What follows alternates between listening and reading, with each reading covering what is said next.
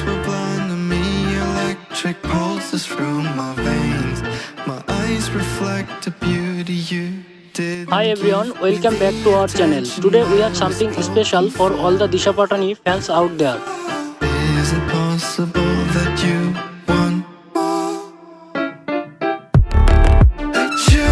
Disha Patani is an Indian film actress who predominantly works in Bollywood films.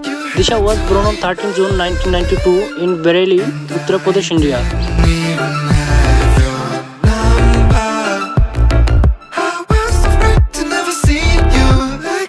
She debuted as an actress in the year 2015 with the Telugu film Loafer and in the year 2016 as an actress with the Hindi film MS Dhoni The Untold Story.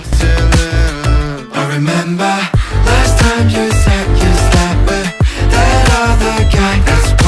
She got good recognition in the Bollywood film industry from his first Hindi film. She has also acted in several hit films such as the commercial successful Hindi action films Bagi 2, Malang and Bharat.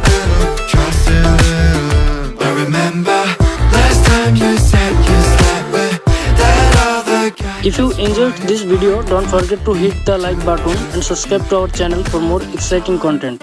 My friends and I were at a party. I wasn't counting on you. I watched myself. Let us know in the comments below which Disha Patani film is your favorite and why.